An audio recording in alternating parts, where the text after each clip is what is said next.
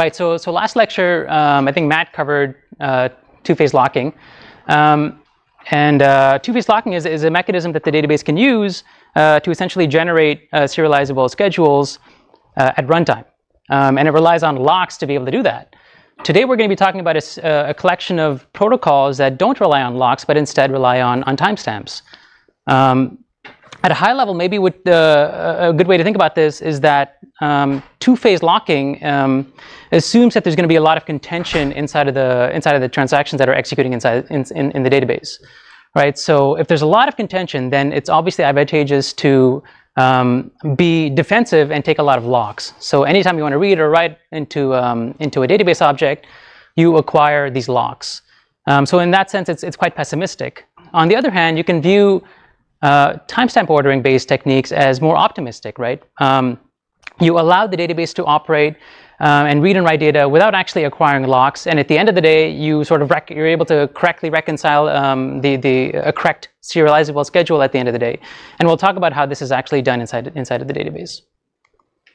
Um, there's actually going to be two timestamp ordering protocols we're going to talk about in this lecture. One of them is actually called timestamp ordering or basic timestamp ordering.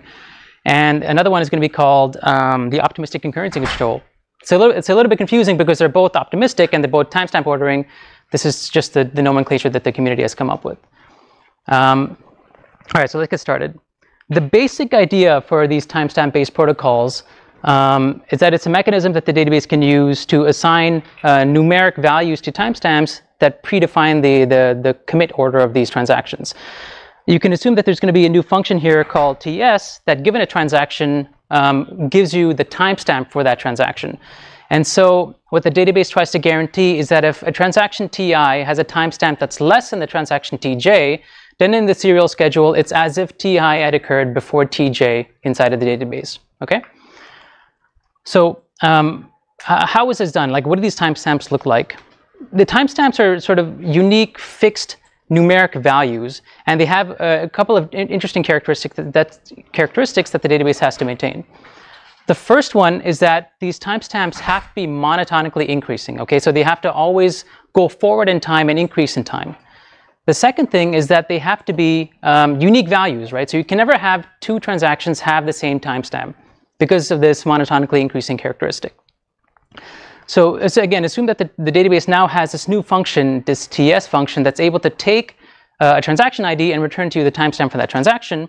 And um, these uh, uh, these different timestamp protocols have different mechanisms by which uh, and, and, time points at which they actually assign these timestamps to the transactions.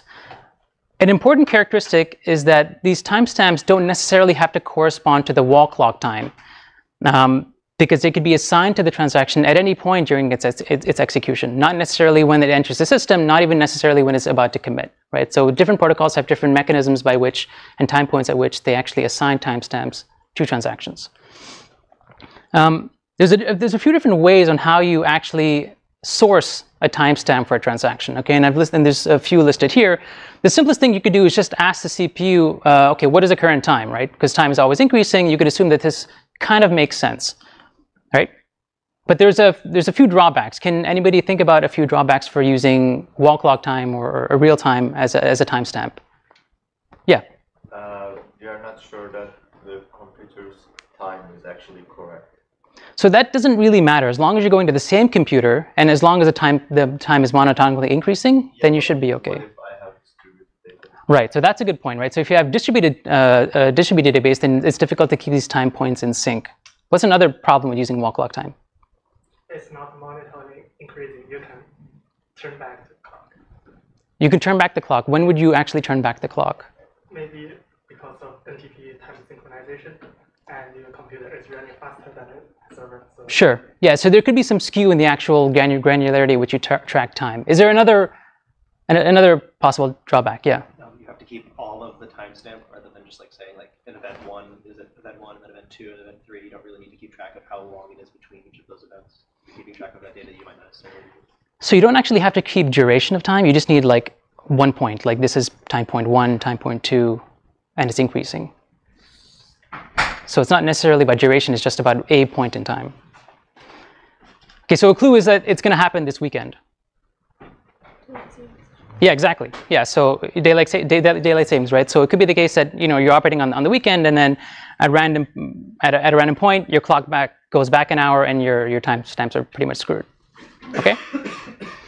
Um, another option is actually to use these logical counters, right? So you can think of having just a register a register in the CPU dedicated to having a monoton- monotonically increasing 32-bit, 64-bit value. Are there any drawbacks or potential downfalls for this approach? Yeah. you would still probably have to lock the counter, and, and if it's a distributed system, you still have to try like coordinate all of the counter access. Yeah, so the, the distribution aspect is still an important factor. Um, but assume that there's one counter for the CPU and it's really fast to increment it without requiring locks. Like you can do an an atomic addition or something like that. Are there any problems with using this logical counter?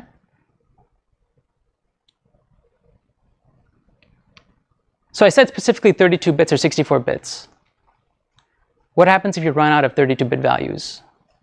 Then you saturate your addition and you roll back, right? So your counter is now going backwards in time. So that's one of the problems with this approach.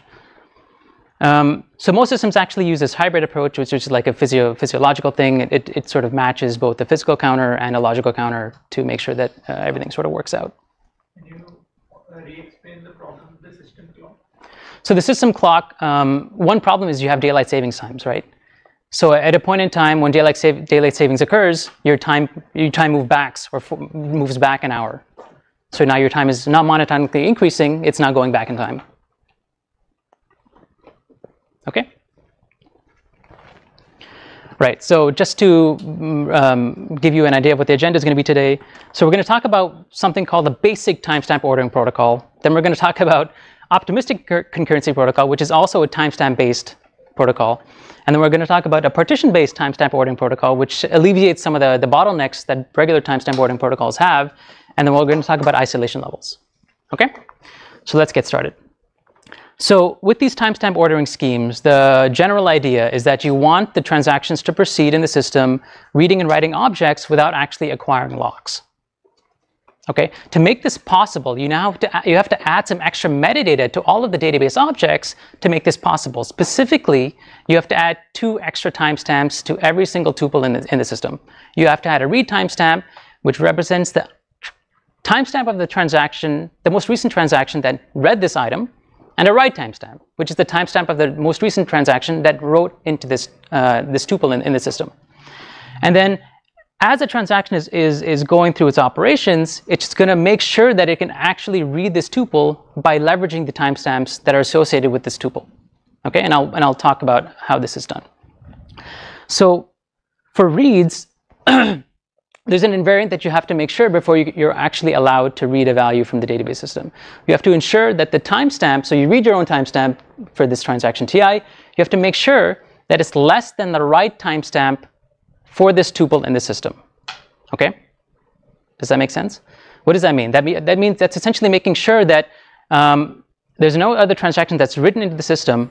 Uh, yeah, there's no other transaction in the system that's wrote into the into this tuple that should have read your um, that, that- who's who's you're not reading a, a value of the tuple from the future, right? So there's, there's a transac- transaction in the future that's overwritten the database value um, that you should now be reading. That's essentially that, that, that's a problem. And when this happens, you essentially have to abort. And when you abort, you have to make sure that you start with a newer transaction, a, a newer timestamp um, than the one that you had when you initially began the transaction.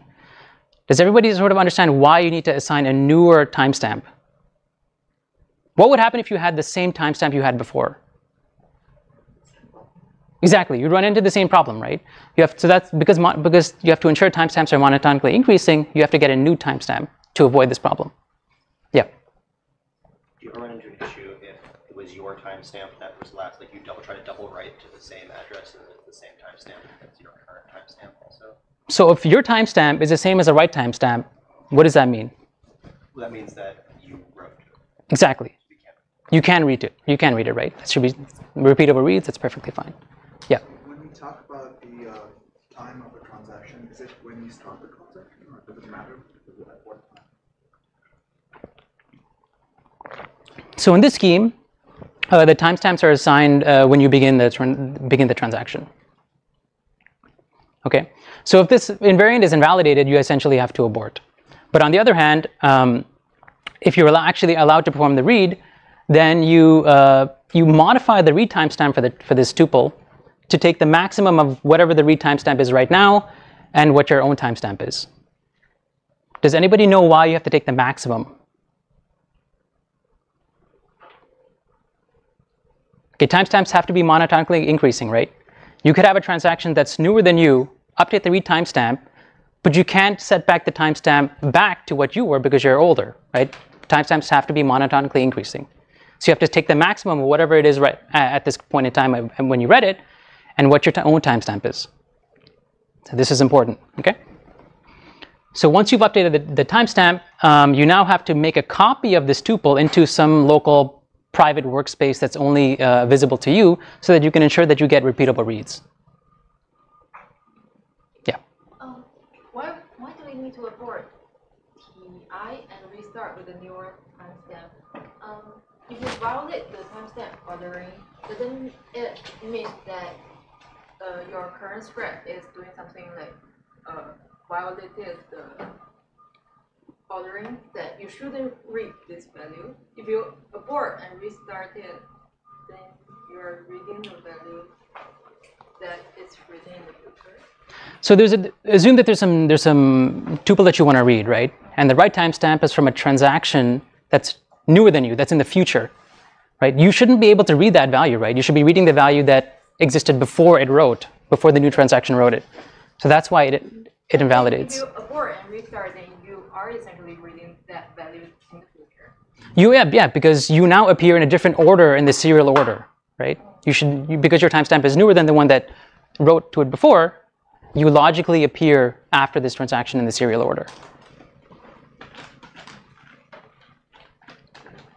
Why Yeah. have, Go ahead. why have to make a local copy of it? So this is not, I don't think it's covered in, in, in the book, but you have to make sure that uh, you have to make a local copy so that you can issue repeatable reads. Like, why? Like, can you explain why? So you can imagine that tra- another transaction comes in and updates the system, um, but you have to be able to read the same value that you read initially, right?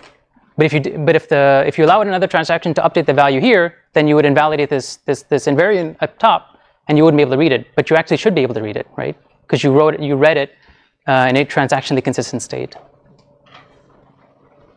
Yep. If you have uh, multiple transactions that are trying to access maybe like similar, objects, maybe the same objects, and we could have the problem where uh, you, restart it every time, but then you run into the same problem, right?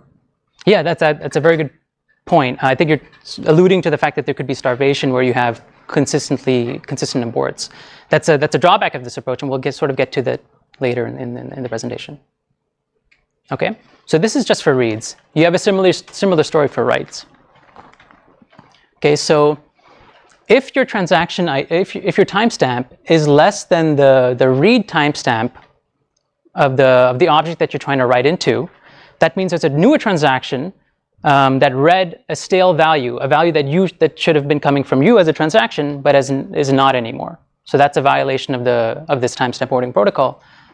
Similarly, if you have a if your timestamp is less than the write timestamp of another of a of, of the of the object, then again there's a newer transaction that essentially overrode your value, and again that's a violation.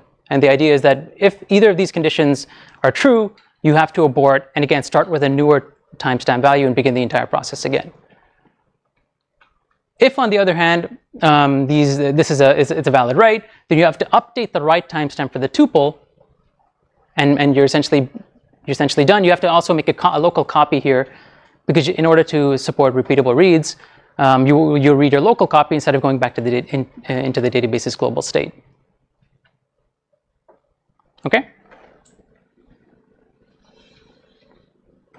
All right. so let's walk through an example. Hopefully, this will uh, clear things up a little bit. So um, we have two transactions here, and just assume that you can only execute one transaction, one operation at a time. So you can assume single core, single thread.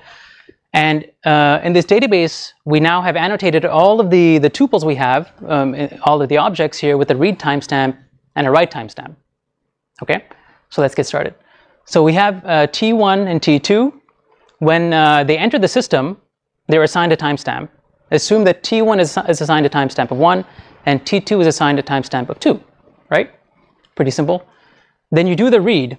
Uh, so T1 does uh, a read of B. You look at the write timestamp for B, it's 0, 1 is greater than 0. So you update the read timestamp to 1. Then we do a context switch into transaction 2, and T2 now wants to do a read of B. You look at the write timestamp, um, and you're good to go. So you update the read timestamp to take the maximum of what it was, which is 1, and the new timestamp 2, and you get 2. All right? Now you do um, a write. So T2 wants to do a write of B. You look at the write timestamp and the read timestamp, you're greater than both, so you update the write timestamp of B to 2. Okay? Now you do a context switch back into T1. T1 wants to do a read of A. It looks at the, the write timestamp of, of A. Um, 1 is greater than 0, so you update the read timestamp to be the maximum of 0, 1, and you're good to go. Sorry. Yeah, you update the read timestamp to 1. Now you come back over to transaction 2, and uh, 2 wants to do a read of A. You look at the write timestamp of A, 2 is greater than 0, you update the read, time, read timestamp to 2 now. And then finally, um, T2 wants to do a read of A, so it looks at both the read timestamp and the write timestamp of A. It's greater than both of them, so the, so the write is valid. And um, uh, yeah, so no validations exist, uh, um, no, no, no violations exist, so both transactions are safe and you can commit both of them. All right, this is, is this clear? Okay, good. So let's walk through um, another example. So it's the same setup here. Um, all, the trans all the initial timestamps are zero. Uh, T1 and T2 enter the system. T1 gets transact gets uh, uh timestamp one. T2 gets timestamp two. All right. So in this scenario, uh, T1 wants to do a read. Uh, it's it's a, it's a it's a good read, so it, ups it updates the the read timestamp. Do a context switch. Um, and now T2 wants to do a write of A. It checks the write timestamp and the read timestamp. It's valid, so it updates the write timestamp to 2. T1 now is trying to do a write of A. So it checks the write timestamp and the read timestamp. It's no longer valid because you have the, the timestamp of 1, which is 1, is less than the write timestamp of A, which is 2. This is a violation. So T1 actually can't commit. It has to abort. Is that clear? You can think about this as like in the serial order, because T1 has timestamp 1 and T2 has timestamp 2, T1 should appear before T1 in the serial order. Um, so this is uh, obviously going to be a, a, violation because this read here is going to be aborted. Okay. Um, sorry. So there's actually um, an optimization that we can make here to avoid aborting in this specific scenario, right? You can think about it as um, in physical time, what's happening, right? T2 is writing to something, but then it's being overwritten by T1. So do we really need this? Uh, I think the observation is you actually don't need it. Um, what you could have is, because we're maintaining a local, every transaction is maintaining a local copy of the, of the tuples, this write here can, can essentially be ignored by the system, right? Because externally, um, this write is what's valid. And as long as this write is externally valid, then you don't actually need this one externally. Within the transaction, you still need this write because you have to be able to read your own writes. So this, this observation um, leads to an optimization that you, you can apply in these timestamp-based systems called the Thomas write rule.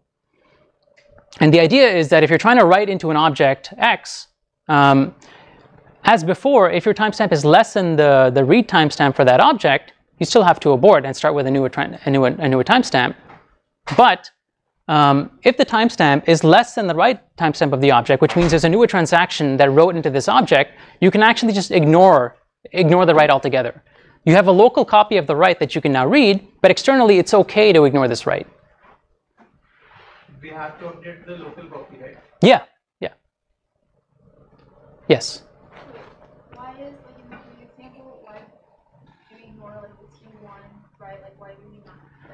So this write is only important to T1, right?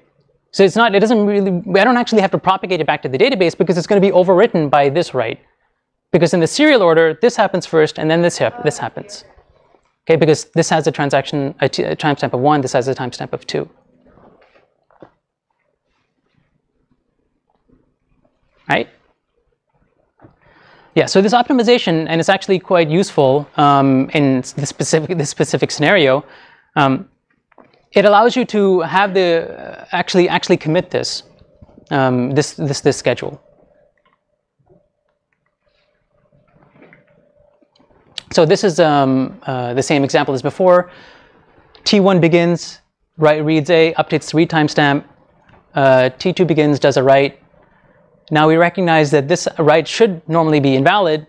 Uh, we actually, but in, by applying the Thomas write rule, we don't actually update the write timestamp or the value A, but we just maintain this local copy, we ignore it, and we allow T1 to continue.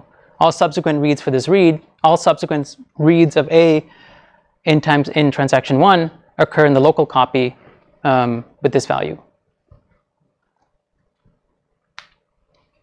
Okay?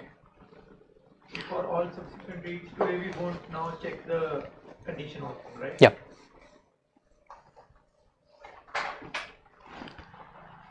Uh, yeah, so that's essentially basic timestamp ordering. Um, like two-phase locking, is a, it's a mechanism for the database to generate conflict serializable schedules, um, as long as you don't apply this this, this Thomas write rule. Okay, um, it does it can prevent uh, deadlocks altogether because as you're um, similar to how two-phase locking works, at, for every operation you're performing on the database, you're making sure that this is a, this is a valid operation. It's sort of like deadlock prevention, right? You're incrementally generating the serialization graph, and as soon as you detect, detect a cycle, you invalidate it, you abort it in, in two-phase locking. Here, you're incrementally checking for every operation whether it's valid or not based on these timestamps, and then aborting eagerly, as eager as possible. Okay. Um, one drawback here, which I think one of the students led to, is um, you could have a possi- you have the possibility of starvation, right? You have you can think of a, a long transaction that's been running for a long time, and then you have these uh, short transactions that are performing that exist for a very short period of time, update a few tuples, and then commit and leave. These are essentially going to invalidate all of the old transactions, causing conflicts, causing uh, cyclical aborts. Okay, so um, so another thing that we should talk about here is uh, um, these these timestamp ordering protocols. Uh, they, they, they, they allow, they permit schedules that are not recoverable. Okay, so what is a recoverable schedule? So a schedule is recoverable if um, a transaction only commits if all the previous transactions that it relied on data for, from also have committed. You can think of this as like, the, like, like a cascading, cascading abort, right? Um, you want to make sure that if you read a value from it that's updated by another transaction, that that transaction commits before you commit. Basic timestamp ordering does not guarantee this for you. Okay, so I want to talk about um, how this, this specific uh, recover the, this specific characteristic is violated by, by basic timestamp ordering. So imagine we have the same setup here. Um, we have two transactions, T1 and T2. T1 has timestamp 1, T2 has timestamp 2. So T1 does um, a write of A, T2 does a, a read of A, and then a write of B. So in the serial order, T1 occurs first and T2 occurs second. So this read can now read this write and that's okay. It does some write of B, which is okay, and commits. Right? So T2 has committed at this point. But let's say later on in the in the system, this transaction has aborted. The problem is that we've now notified the client, we've notified externally to the world that this transaction is committed. But it read a value from a transaction that aborted. Right? So this is actually invalid. Now, it's not a it's not a recoverable schedule because when the system comes back, um, you know, we have to recognize that this is aborted and that we should not apply these writes. Okay? So this is not a recoverable schedule, but it is permitted by the basic timestamp ordering concurrency protocol. All right? Yeah, so, so T1 aborts after T2 is committed, and this, um, this violates the recoverable schedule requirement. Okay, so um, I think a lot of people have sort of picked up on this, but this this uh, um, these basic timestamp ordering, the, the protocol has a lot of overhead, right? So every time you do um, a write or a read, you need to now copy it into your your local workspace. So if you're updating or reading and writing billions of tuples, you have to make billions and billions of copies per transaction in a local memory space, right? And that's obviously a lot of overhead. Um, Another thing that again was picked up by uh, one of the students is that you could have starvation by from long from long running transactions uh, by short running transactions that quickly update one or two tuples and then um, require the long running the long running transaction to abort and restart. Um, so, so what can we do? Um, if you think about it, right? So, two-phase locking and this basic timestamp ordering protocol that I just talked about, they're also somewhat pessimistic, right? So in two-phase locking, as soon as you read and write a value from the database, you have to acquire some lock to protect yourself from other transactions in the system. With basic timestamp ordering, you're kind of doing the same thing, right? Every time you want to read and write a tuple, you have to make sure that the timestamps align just right so that you can perform the operation that you want to perform, right? So they're both assuming that there's a lot of contention in the system and try to prevent this uh, from, from prevent something wrong from happening. But what if you make a different assumption? What if you assume that there's not going to be a lot of contention in the system?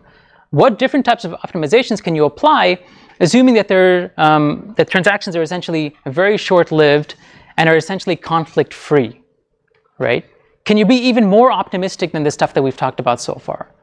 And we'll talk about one example, one concurrency protocol that makes this assumption and applies a lot of different types of optimizations. Okay, and it's called, as the name suggests, optimistic concurrency control. So it takes a very optimistic view of how, of how the transactions run in in the system. So OCC, um, optimistic concurrency control, uh, was was written um, here at CMU by H.T. Kung. This uh, he's no longer a professor here. I think he's at, at Harvard. But it's pretty cool that one of the you know premier concurrency control protocols was actually written here at CMU. Okay. Um, whoops. The, the, the idea is, as in the basics timestamp, timestamp forwarding protocol, every operation you perform, what you do is you first make a, you first make a local copy of that data into a local thread local private workspace. Okay. Anytime you want to read a copy, anytime you want to read an element from the database, you first make a copy from it, and then you're good to go. If you want to make an update to it, you first make a copy of it into your local workspace, and then you apply the update to your local copy. Okay, you don't perform an in-place update anymore. All right. Then, um, once all of this work is done, uh, the, the, and you're ready to commit, you have to essentially make sure, you have to validate that all the changes you make are transactionally consistent with the rest of the transactions that are running in the system concurrently with you. Okay, and I'll talk about how this is done specifically in the workspace uh, in, in, in, the following slides, sorry. Um, so after this validation step, after the database has, has ensured yeah, that, hey, listen, your transaction is good to go, we have to now install all the changes that are in your private workspace into the global database system. And we have to do this atomically. Okay, and again, I'll talk about how this is done um, in the system. Uh, okay, so the, the, the, way that OCC works is that it's split up into three phases. The, the first phase is called the read phase.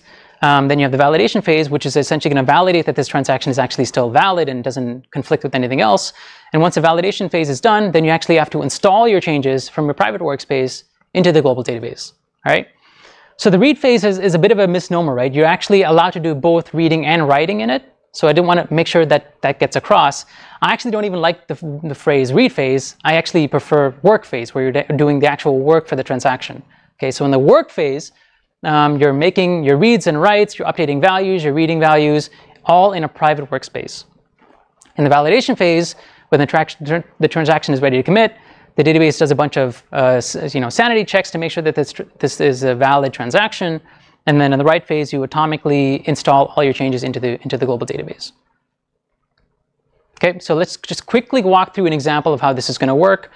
Um, okay, so the first thing is that we have the same database we had before, but we've removed the, write time, the read timestamp now. We just have a write timestamp. The second thing is that we've now demarcated the boundaries for all the phases. We've, we've really just done this for illustration. The, data, the transaction is not going to specifically say, hey, I want to start my read phase, I'm going to start my validate phase, and then the commit phase. This is, it's going to be done, it's going to be handled for you uh, by the database system itself, much like how the two-phase locking protocol is implemented for you by the database, not by the transaction. Right? The transaction is just doing a bunch of reads and writes.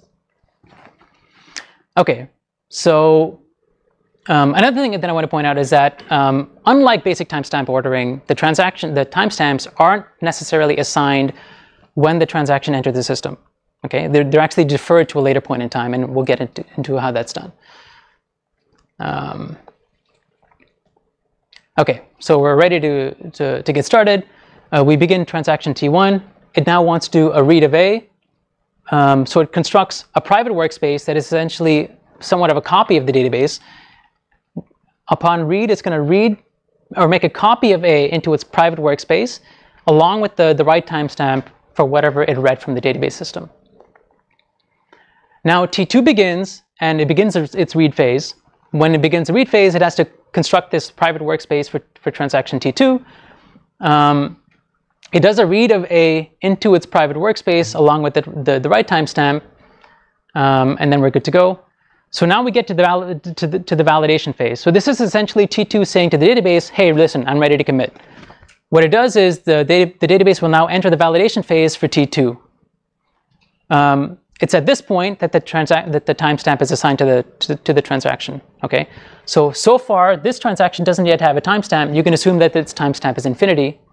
Here, when, when T2 enters the validation phase, it gets a timestamp of 1, right?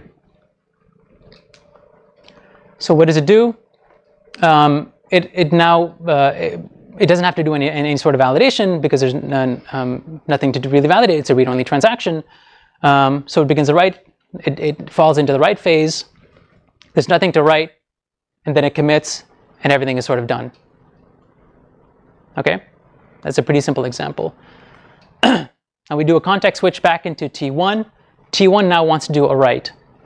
So it makes a modification to its local copy, and it assigns a timestamp of infinity. Okay, why does a timestamp have to be infinity?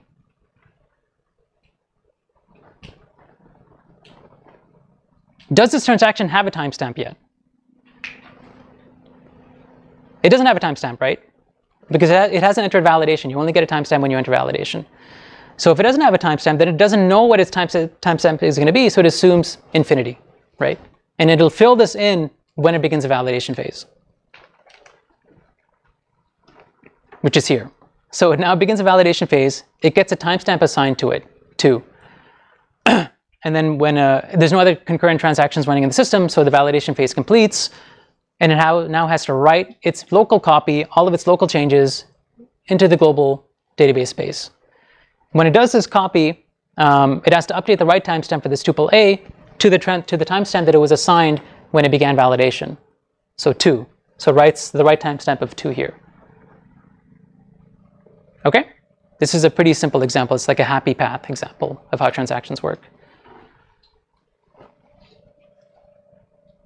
Okay, so um, the work phase is sort of simple, right? Anytime you want to read and write a value, you make a copy of it into your local workspace, and then you modify the local workspace alone. Once you're done the work phase, you now begin the validation phase. Um, the validation phase is where the database ensures that the, that the schedule that it can generate is serializable, right? It's conflict serializable. the way that it does this is that for every transaction, um, it has to make sure that the, the read-write set right? So the set of things that it has modified doesn't conflict, doesn't have a read-write conflict or a write-write conflict with all other concurrent transactions in the system, right? And there's a mechanism for how, how to do this. Um, there's actually a couple of different mechanisms. Um, well, these slides are a little bit out of order. Um, and the way that you, so the way that the database can ensure that these transactions don't, or like the, the sets are, you know, properly serializable um, is that it needs to have a global view of all active transactions running in the system. If you have a global view of all transactions running in the system, you now have a global view of all of the, the modifications every transaction has made in the system.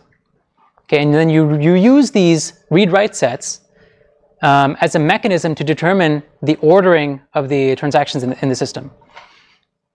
Um, so um, I think uh, I think one of the things that um, we, we want to try to get across here to simplify the, the, the, entire protocol is that the, this validation and writing happens serially, serially. So the entire system, you can think about it as um, there's a giant latch over the, the, the, validation phase, quote unquote, validation phase to ensure that there's only one transaction performing validation at a time. And this will simplify some of the protocols we're going to, this simplify some of the details we're talking about in the, in the protocol a little bit later on. Um, so yeah, so in the read phase, as, as I mentioned before, um, whenever you're trying to read and write a uh, value, you make a local copy, um, and you only update that local copy. uh, to ensure repeatable reads. And then in the validation phase uh, is when you get is, is when you get a timestamp, and then you use this timestamp to look at all other concurrent transactions in the system to make sure that you uh, don't uh, you don't intersect like your read and write sets don't inter intersect to make sure that you have a correct serial order. Um, so you look at your you look at your timestamp for, for, for TI, you find all other time uh, transactions in the system that are younger than you, that are newer than you, and you have to make sure that a set of conditions holds. I mean, the fact that we're using newer transactions isn't necessarily required. You could also look at older transactions, right? There's no reason why we're specifically looking at younger transactions, but it simplifies, it, it makes things a little bit simpler. And I'll talk about another approach that we can use that's slightly different than this one. So when, you, when you're ready to validate, you essentially invoke the commit, and then the, the database performs a validation phase. So it finds, because it has a global view of all the transactions in the system, it can find all newer transactions and all older transactions and make sure that everything's sort of is, uh, fits together. And there's two types of validations that you can perform. You can perform forward validation or, ba or backwards validation, right? So what, are the, what is the difference between these two types of validation techniques? Um, so in, in, um, in, in, in, backwards validation, what you're looking at is when a transaction is ready to commit, let's assume that transaction T2 is ready to commit, you look at all the older transactions in the system. Okay, so T2 is ready to commit, its commit point is here, um, and you're doing backwards validation, you have to find all older transactions, so trans transactions whose timestamps are less than this one, and perform a validation, right? So we call this the, the scope of things that we have to look at a validation scope. So this is the validation scope for T2 if we're doing backwards validation because T1 and T2 are running concurrently and T1 committed before T2. So T1 is older than T2. All right? Because it could be the case that T1 made an update to something that should have been read by T2, but we didn't because T1's changes are made to a private copy. All right? So it could be the case that we read something that, from the database system that we should have been reading, reading from T1, but we actually read from the main database because the T1 is making private changes to its own space. So we have to make sure that this, this, uh, this doesn't happen. And if it does, we have to actually abort T1. So this is backwards validation. We're looking backwards. mm-hmm. Correct, yeah, because this is already committed, right? At this point, we can't do anything about T1. Okay? Similarly, instead of going backwards, you could also look forwards. So again, we're trying to do the, the validation for T2. Um, we find all concurrently running transactions that have not committed yet, and we do a validation against those. So in this specific scenario, um, T3 is concurrently running, and we have to make sure that this is transactionally safe. Because it could be the case that I made an update, so T2 made an update into its local private space, but because it occurs before T3 in the serial order, this one has read a stale value from the database. It should have read something that I modified, like maybe I modified it here and it hasn't read it here, um, but it actually read a stale value. And if that happens, I, I have to abort myself. Okay, so these are just two techniques, two, two mechanisms in which we perform the validation. What's really important here is that they all, that the entire, that all transactions perform this validation in the same direction. You can't have T1 performing forward validation and T2 performing backwards validation because that's going to mess up the entire system. Yeah.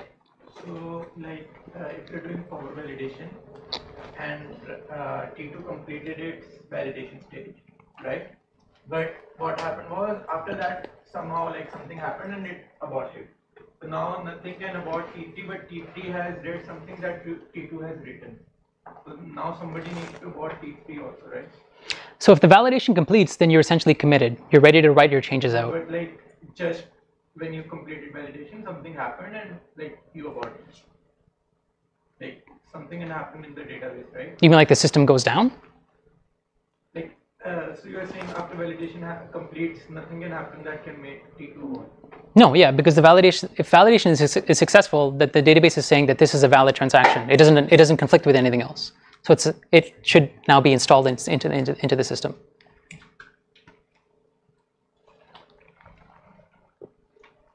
All right. so okay, so for the rest of this lecture, let's just assume that we're always doing forward validation. So anytime you want to validate a transaction, you find all newer transactions than you, and you perform the va this validation step. Okay, so there's a couple of different um, scenarios that we have to cover. Okay, the first scenario is that if you find a transaction TJ, um, where all your phases, your read, your, your sorry, your work, your va your validation, and your write steps happen before anything that TJ has done. Right? This is sort of like the simple happy path case. So this is an, an example. You have T1 and T2. T1 completes all of its steps before T2 has done anything. Okay, so this is a really simple example. You could essentially collapse this into one and now you have a serial execution. So you don't really have to do anything all that interesting here. This is sort of given to you uh, naturally. The second, um, the, the, second scenario that we have to uh, uh, handle is that if T1 completes before TJ, sorry, Ti completes before TJ begins its write phase, okay? And we have to make sure in this scenario that the stuff that we write, the, the, the write set in our transaction doesn't interact, intersect with the read set of the other transaction. So the other transaction hasn't read anything that we're gonna, that we're, that we've written. Okay, why is this important? So let's walk through an example. So um, in this scenario, we have two transactions. T1 is reading and writing A. T2 is reading A and doing nothing else. So, um, so this is the state of the database. So T1 has read A and written to it. Assume that it's writing the same value 1, 2, 3 and its timestamp is infinity. T2 has read A, so it has a timestamp of zero there, and it has a local copy in its in its private workspace. And then you want to perform the the validation here, right? So T1 has to abort because its read set, so it has a it has a lower timestamp than than T2 because it begins validation first. So its write set intersects with the read set here, right? So that that violates the invariant that we had before. So we have to um, abort this transaction. Okay? In the serial order, T1 has to begin before T2, but T2 has read a stale value, so we have to abort. That, that's, that's a, I think it's a pretty simple example. Um, but now let's, let's slightly tweak it, and now we'll have T2 begin validation before T1. So in the serial order, T2 happens before T1.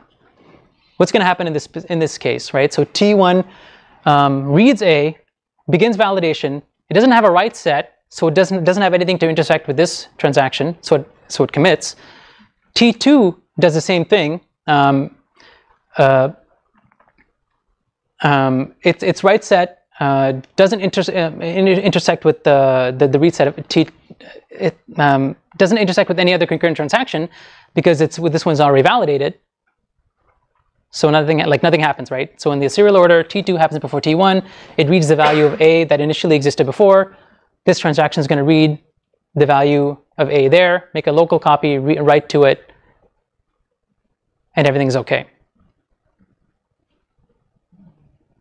All right. Questions? Yes. Uh, in this case as well, did, you, did transaction two not read a stale value? So in this in this scenario, because T2 begins validation first, it appears first in the serial order.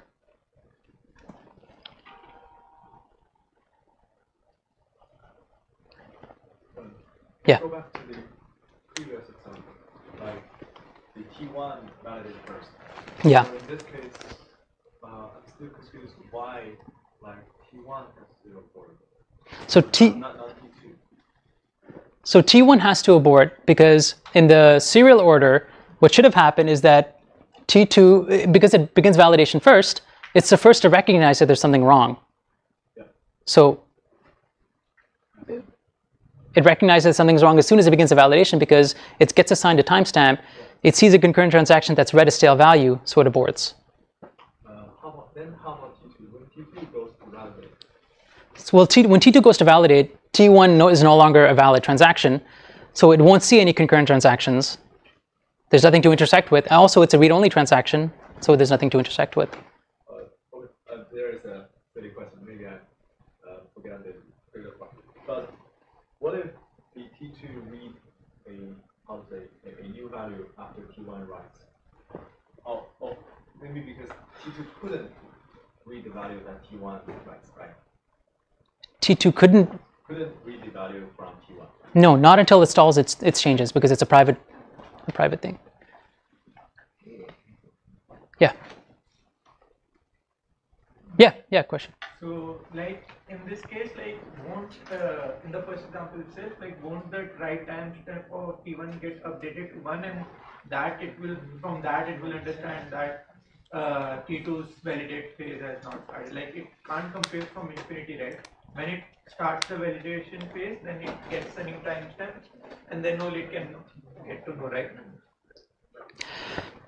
Yeah, so when, when this T1 get, begins its right, uh, Validate phase. begins the validate phase, A new write time. Uh, it'll get a timestamp. Yeah, it'll get I don't know one or two or something.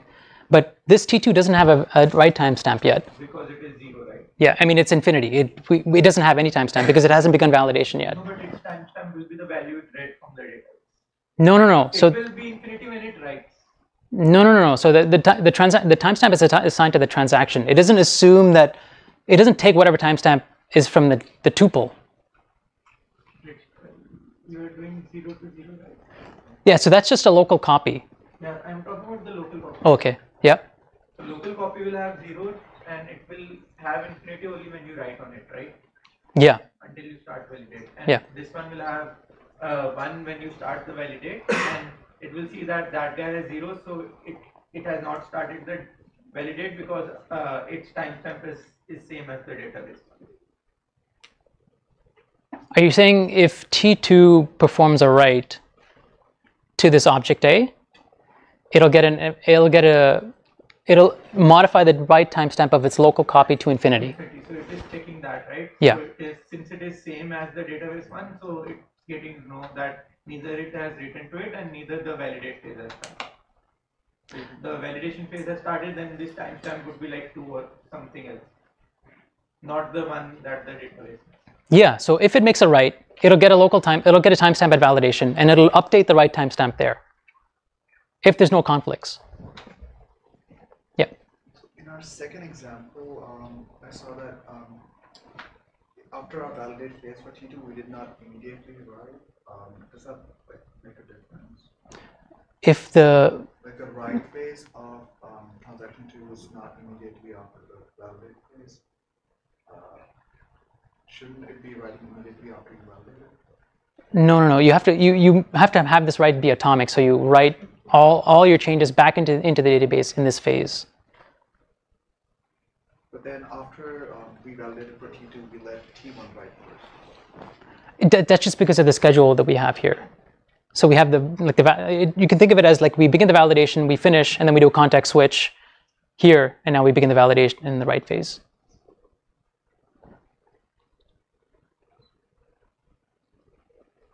All right. So this is the second example. Um, there's still one more to go. Uh, in this one, um, the transaction uh, you have to ensure that the transaction uh, TI completes its read phase before transaction TJ uh, begins its read phase. So you have to ensure that the write set of, the, of my transaction doesn't inter- intersect with the, the read set and the write set of all these of the transactions that fall into this category where the read phases are, are overlapping. And this is um, another example of um, how we can go through this. So uh, let's see. In this scenario, T1 is reading and writing A. Oops. Uh, T2 is reading B and reading A. T1 begins, begins its validation phase. So it gets a timestamp of 1.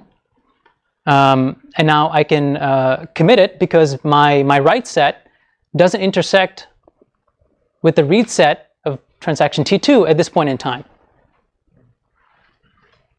Okay? So I can install my changes back into the, into the database. I, update 456 or update A with the value 456 and I set my write timestamp to 1, which is the timestamp that, that I was assigned at validation phase. Okay?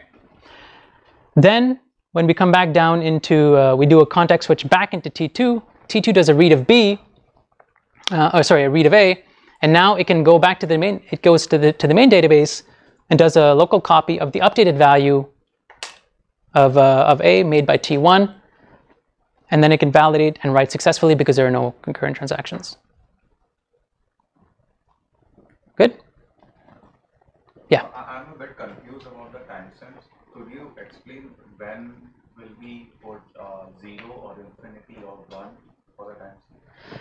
So if you if you let's go back to this example. Um, so when you want to perform a write, right, you make a local copy of the of the database object into your local private workspace, and then that's when you set the timestamp to infinity. You set it to infinity because you don't know what your timestamp is going to be because you haven't been assigned one yet. Right? It's it's zero here mainly for mainly for illustrative purposes. You can think about like there was a, some trans, some transaction with timestamp zero that bulk loaded all of these objects into into the database. So that's why the write timestamps are zero.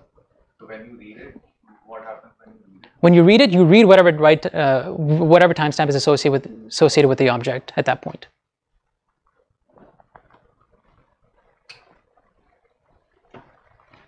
Yeah. So T2 does a read of A, does a valid does a validation, does a write. Everything is good because there's no concurrent transactions.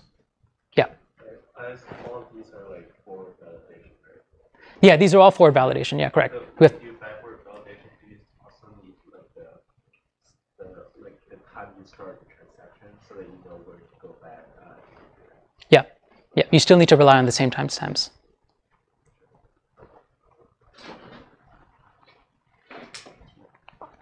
Um, yeah, so that that was essentially the. I'm we've been kind of hand wavy on a couple of things on how you actually install the writes atomically and how you do the validations in a parallel way because in, in a real system you have to do this parallel parallel validation. But I think hopefully the the main idea has gotten across, right? Um, it's not too complicated. There are some there's there's some trickeries here and there, but uh, generally it's it's pretty intuitive. Um, so there's a few observations that we should we should try to make. Um, all of these timestamp ordering and optimistic concurrency protocols sort of work well when there's very little conflict, right? Because you allow the transactions to proceed without acquiring locks, without doing anything heavyweight at work time. And at the end, you do sort of lightweight, semi-lightweight validation to make sure that your transaction is still valid.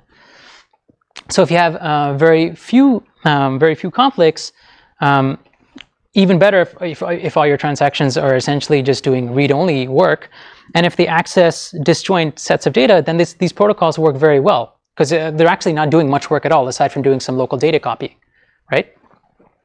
Um, another way to think about this is that if you have a, a very large uh, uh, workspace and very small transactions, then the probability of these transactions overlapping in the read and write sets is very low. In this specific scenario, these optimistic concurrency protocols work very well. On the other hand, in very highly contentious workloads, um, what ends up happening is that you have transactions consistently restarting, right? So they'll do a lot of work um, uh, in their in their work phase, assuming that there is no there's there is no contention, and then, and only at the very end do they figure out, oh crap, all this work that I've done is kind of useless. I have to restart, right? Um, so you're kind of deferring a lot of the the heavy lifting towards the end, assuming that there won't be a lot of heavy lifting. But in the contentious workload, there is heavy lifting because you essentially have to abort everything you've done. Um, so really, I think I think the, the, the research sort of shows that uh, in contentious workloads, um, both two-phase locking and these optimistic concurrency protocols generally don't work. They're sort of like almost equivalent. So in 2PL, you're essentially acquiring. There's there's a lot of contention on locks, so you have transactions waiting and and um, these hot locks. Here you have transactions that are doing all their work, almost wasteful work, and then aborting at the very end. So neither really work for contentious workloads. But if your workload is, is has very low contention, then in general, these optimistic uh, protocols work better because they uh, they have no overhead. They have very very minimal overhead aside from some like local data copy. Okay. Whereas in the 2PL uh, protocol, you actually have to acquire locks, even if there's no logical reason that uh, you should be acquiring these locks. question. Uh, let's go back to the last example. Yeah. I'm wondering, say, why OCC doesn't say like for T2, why does T2 have a timestamp at the beginning? Like, uh, I think when T2 begins to read A, uh, somehow it reads the value from T1, right? No, so the timestamp the timestamps are, are assigned at validation. Yeah, I know, I know. Yeah. Why we don't assign the timestamp at the beginning of the this transaction? Because like the T2 begins uh, from this like from this uh, graph. It seems like these two uh, transactions begin at the same time. But then T2 reads the value A after Ty. Did T1 write something? I think what you're describing is essentially basic timestamp ordering, right? So in basic timestamp ordering, you assign the timestamps when the transaction begins. In OCC, just the protocol dictates that you assign the timestamps at validation time. Because you want to defer the work of doing the actual checking uh, to when you're ready to commit. Whereas basic timestamp ordering is saying, every operation I'm going to perform, I want to do a check to make sure that this is a valid operation. So just how the protocol works. Yeah. So in basic timestamp ordering, are you also making those local copies if you're only reading? You still need to make a local copy even if you're reading to ensure repeatable reads.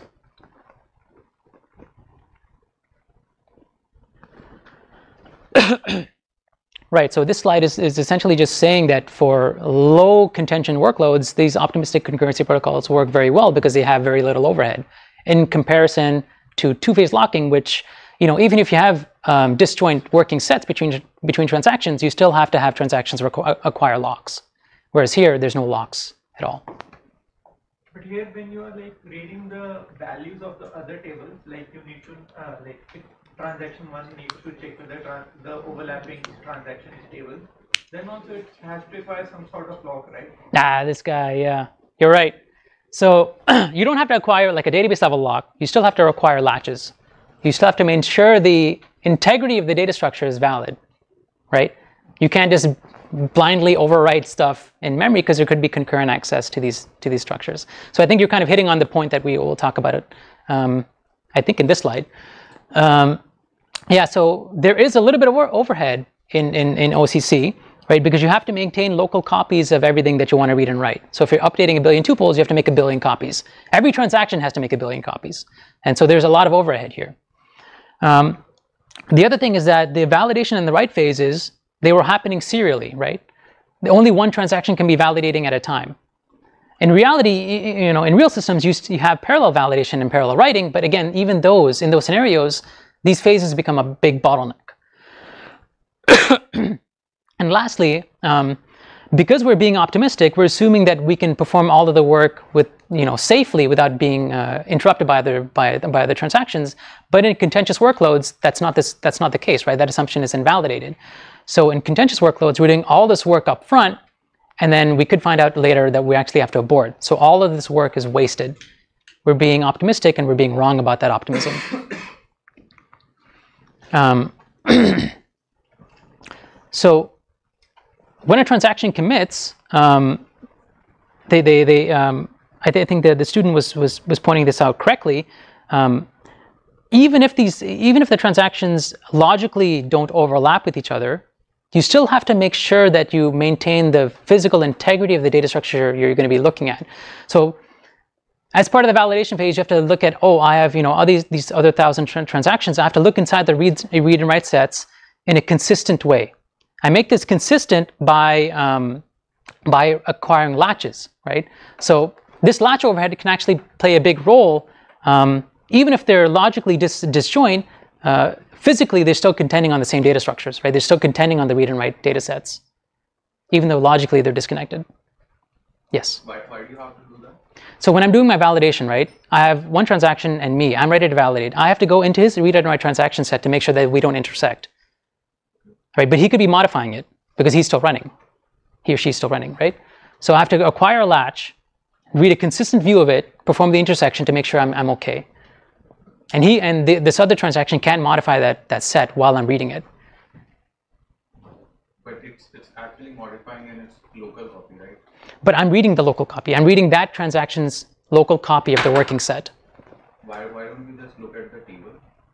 Because the table doesn't have all of the updates that have been applied uh, that, that this transaction has read, and, has read and written to, right? The transaction has a local copy of reads and writes. So to see if this transaction has read a value that I'm writing to, I only know that by looking at his read and write set. I don't know that by looking at the table. So I have to look at the local, the, the local working copies for all the, the, the other transactions as part of my validation. And I do that And in order to do that in a consistent way, I have to acquire latches. And this latches, these latches can have some overhead. Yeah. To produce conventional latches, could you do like some sort of like filtering type deal where like you only because like like each transaction is probably only like accessing a small number of things. You have like you know, hey, I'm accessing this, this, and this, and then Yeah, there's there's into 99%. Yeah, there's there's a lot of techniques that you can use to reduce this latch contention. But at the end of the day, like if you even if you have a parallel setting, there is some overhead, right? um, so what if we take um, a slightly different view, right? What if we um, what if we uh, partition the entire database um, so that all of the stuff that one transaction has to work on is only within one transaction, and then I can remove all of my locks and latches altogether. Is that even possible? So it turns out that this is a, this is a valid technique, and um, it's called partition-based timestamp ordering. The idea is that I want to split up my database into these uh, horizontal partitions, right? Um, and then I want to be able to use timestamps to order the transactions on a partition in serial order, right? So if I have transactions execu- executing serially, then there's no reason, or sorry, within a database, there's no reason to have locks and latches at all because there's no concurrent activity, right? If they're operating single-threaded, I don't need locks. I don't need locks. I don't need latches. Um, and then um, it gets a little bit complicated if you have to access multiple of these database partitions. But if you're only accessing all the data within one partition, then it, then it can be potentially really, really fast. And this is sort of what partition-based timestamp ordering is trying to achieve. So let's let's walk through an example. So imagine that um, um, I have this the schema uh, that represents some online store that I'm running. I have customers, orders, and the uh, the order items, uh, the items in the order for this for, for for an order. What I could potentially do is um, because I have these foreign key references, I can store within one partition of the of the table a set of customers, all of their orders, and all of the items for their orders by using this uh, this, this this foreign key reference structure. Okay, so imagine that I have two databases now where I have customers one through 1001 and 1001 to 2000 in a, in a separate database. And I want to, I don't know, let's say I want to update a customer's name. I want to add an order to one customer's order, right? What, what do I do? Um, so a transaction, I have an application here, and it begins a transaction. And let's say that it's trying to update customer customer one. It falls into this partition here. So, okay, it's missing something. So assume that uh, in this line there's a there's an operation that says get me the name of the customer whose ID is one. Okay, that's an operation that obviously falls into this partition because this customer belongs in this partition. All right, um, and then it does commit. And it can safely do that, right? Because all of these transactions get queued up and operate in a single thread in this, in, in this database. There's no concurrent activity at all. Similarly, I can have another um, application server that wants to update the customer 1004. That'll go here. And these two transactions are totally disjoint. They're operating on different customers. That's one way that we get parallelism, even though each database is operating single-threaded. Okay, the finer grain that we can have these customers, we can store these, these database partitions, the more parallelism we can get. And that way, each, each individual transaction runs much faster because we don't have to acquire locks and latches. And we get parallelism by having more of these transactions running concurrently on disjoint sets of the data. Is that clear? All right. so this turns out to be a, a very uh, popular protocol. Um, you still have to assign uh, transactions an ID, and then you queue them up by uh, uh, by, by these IDs. Um, and uh, th- th- this type of partition-based protocol uh, has been actually very, very, very successful. So Andy worked on this system called HStore, which is a commercial system um, uh, that now get that got commercialized into VoltDB, and they're still using this this type of partition-based timestamp ordering. Um, Andy worked with uh, someone called a professor called Dan Abadi, who's at I think Maryland now, who did some initial work on a system called Calvin that's now been commercialized into, into Fauna, that also uses something very similar to this. And there's a, a system called KDB, which is a, like a financial database, um, and they also use this technique, and it's actually pretty successful if you if your workload su- supports this type of partition-based operation. um, the way that you can view this is that every single database essentially has a, has a giant lock or a latch around it. And uh, when a transaction is ready to commit, it acquires this latch and it begins execution within the, uh, uh, within the database, fully single-threaded, bare metal, bare metal speed. And then as other transactions come up, they queue up on this latch and they essentially get assigned a timestamp. And then as their, as their timestamp gets, gets ringed up, they begin execution into this database, uh, into, this, into this database partition. Um,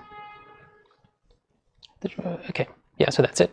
Um, so for, for, for, for reads, um, the database, the, the transactions can essentially read whatever they want right now safely without acquiring latches because they can guarantee, the database system guarantees that there's no other transaction running in the system.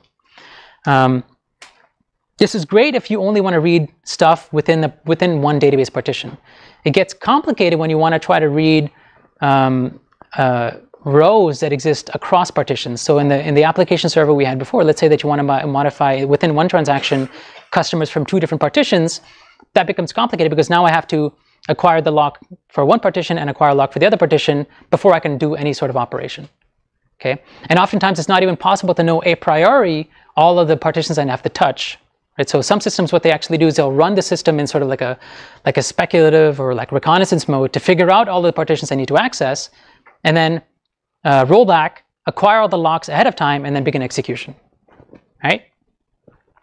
Um, yeah. So that's essentially what this is talking about. If I have to access cross partitions, uh, cross partition rows, I have to abort and restart and acquire the new locks, the new set of locks that I've discovered during execution. And this can be wasteful.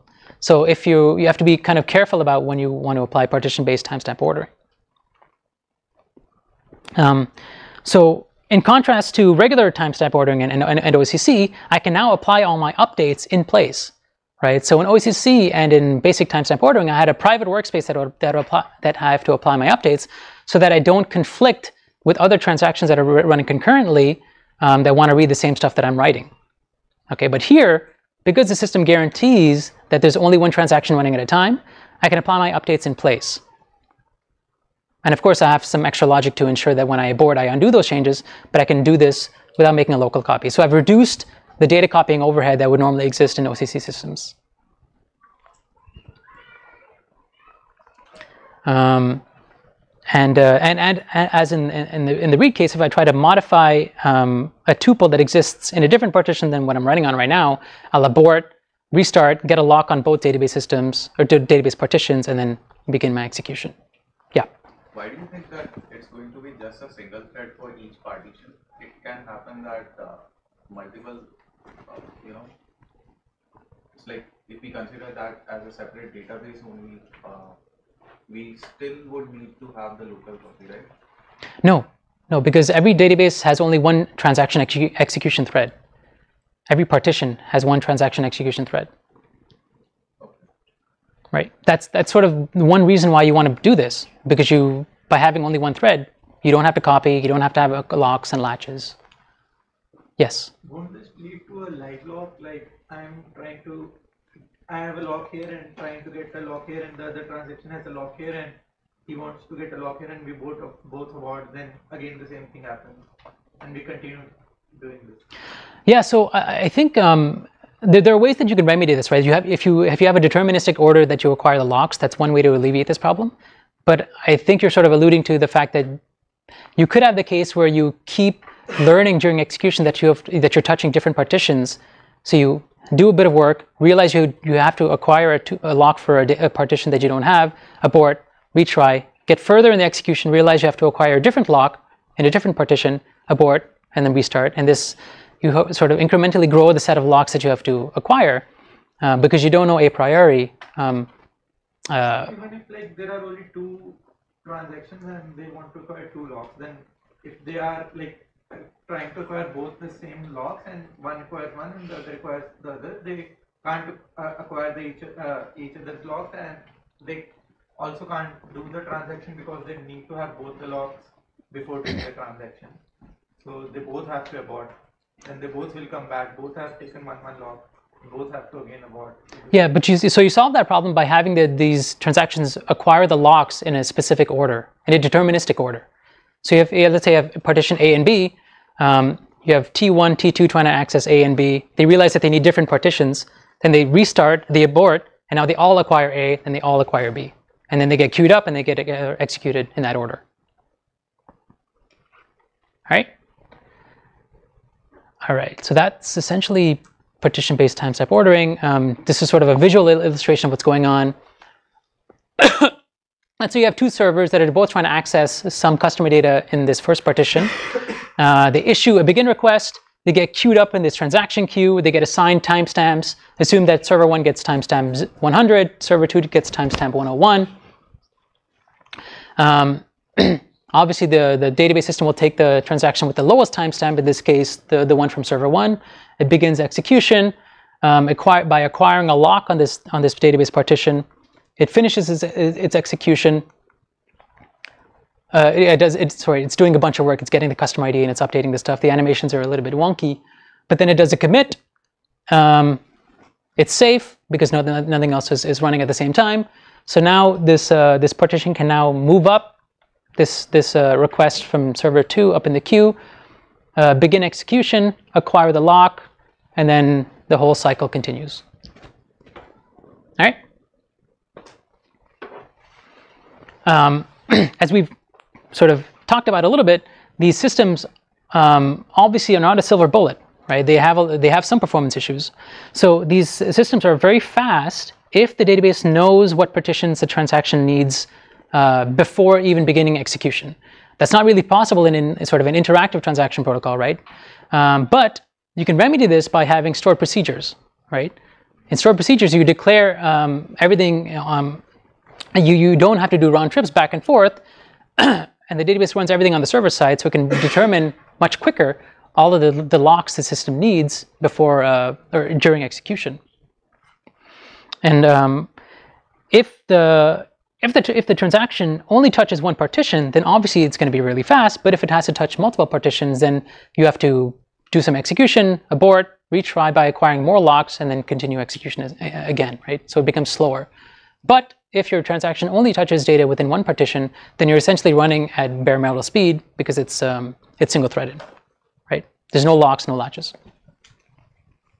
The other drawback is that um, if you have this multi-partition setup, you could have some, uh, um, some partitions that are essentially idle because you have one hot, uh, one hot partition. Okay, so that, that, that was essentially partition-based timestamp ordering. try to get through this little, as, as, fast as possible. So uh, one of the assumptions that we've been making uh, throughout this work is that the as transactions execute, they don't really um, insert new data. Uh, they only modify data and they read data.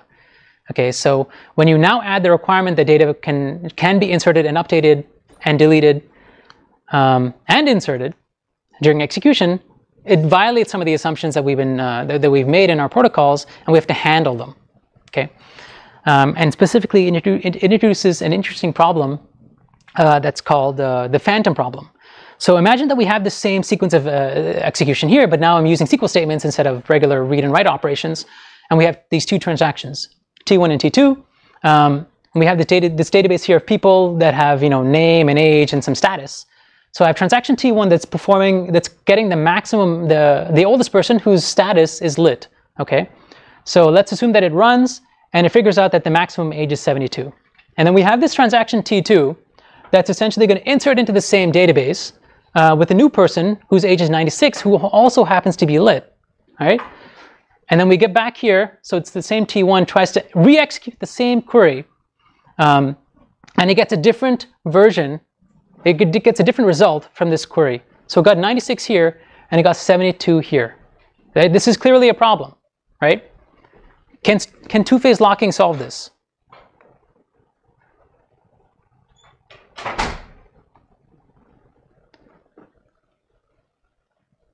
Depends on what the two-phase locking is issuing like locks to. Assume tuple access. No. Who said no? Why do you say no? Because you will have locks on the tuples that you are reading, right? If a new tuple comes, then you won't have a lock on that. Yeah, exactly. That's a, that's exactly right. Right. Um, you can only access locks on on, on tuples that that, that, that exist.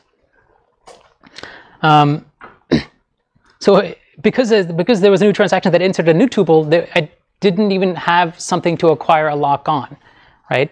And that's clearly a problem. And how do we solve this? If I want to ensure serializability, I have to ensure that I can ensure I can ensure re repeatable reads. So I have to solve this phantom problem.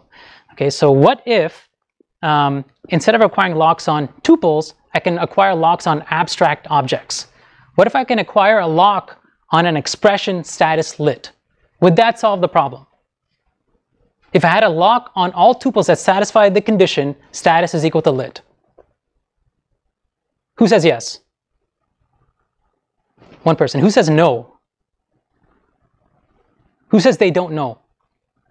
Okay, so the answer is yes. If you could have a powerful, a powerful enough locking system that you can have an a lock on an expression that says status is equal, to lit, you can solve this problem. That would solve it for you, right? But the problem, and the, the, the term that we're talking about here is, is called predicate locking, is, is that it's very, very expensive to be able to do this. And in fact, I don't think any systems actually do that type of really complex logic because it's very complex, right? I gave you one example of status is equal to lit, but what we're actually talking about is a multidimensional problem because you could have any arbitrary complex expression, and you want to ensure that the, the expression you're evaluating doesn't intersect with this multidimensional space. So it's non-trivial to implement. So most systems don't do that. Yes? The hierarchical locking scheme talked in the last lecture solve this problem? Yeah, so you could acquire like a table level lock or a page level lock. No, but like you have a shared lock on the table and like this guy who has to insert will have to have an exclusive lock on the table. So that will solve it, right? Yeah, so you could use these uh, hierarchical locks. That's one way to definitely solve it. The other way to solve it is this, this predicate locking that I was talking about, which is more general purpose. Um, and there's another one called index locking. So if I have an index on the system, right, let's say I have an index on this on the status attribute, what I could do is take a lock on the slot in the index where status is equal to lit, so that any new insertions have to go through the index and make an update. They can't acquire that lock. Okay, so that's another way to solve it. If the status lit doesn't even exist in the index, what I have to do is acquire what's called a gap lock. So a gap in the index, I acquire a lock on that gap. So that if another insertion comes in that tries to insert status is equal to lit in that space in the index, it's not allowed to do that. Okay? So this, that's, that's two, essentially two ways um, to do it. Um, yeah, so this essentially goes back to the point that was made earlier. If you don't have an index and you don't have predicate locks, um, you could do it by locking every every page, or you could do it by uh, locking the entire table, or um, yeah, hierarchical locks. So I, uh, sorry, the last way to, to solve this problem is through just by repeating the scans by by the committing. Uh, sorry, before committing. So I think one of the most popular systems that does this is, is, is Hekaton, which is from Microsoft. So essentially, every before you commit, you have to make sure that everything you read um, before happens just before you commit to, to make sure you have consistent reads. I think we're out of time. Uh, the last section was weaker isolation levels. Maybe we'll cover that in the next lecture. All right? All right, that's it. Oh yeah, coming through with my Shaolin crew. Two cent for a case, give me St. Ides brew. In the mix of broken bottles and crushed up cans. Met the gals in the jam, oh how dry with St. Ides in my system. Crack another, I'm blessed. Let's go get the next one and get over. The object is to stay sober. Lay on the sofa. Better yet, down my Put me shoulder. the Wallaby champ, stressed out. Could never be son. Ricochet jelly, hit the deli for a cold one. Naturally blessed, yes. My rap is like a laser beam. The boards in the bushes. St. Ides spin like canteen. Crack the bottle of the St. Ides. Sipping through those who don't realize the drinking ain't only to be drunk. You can't drive, keep my people alive. And if the same don't know you from a can of pain, pain.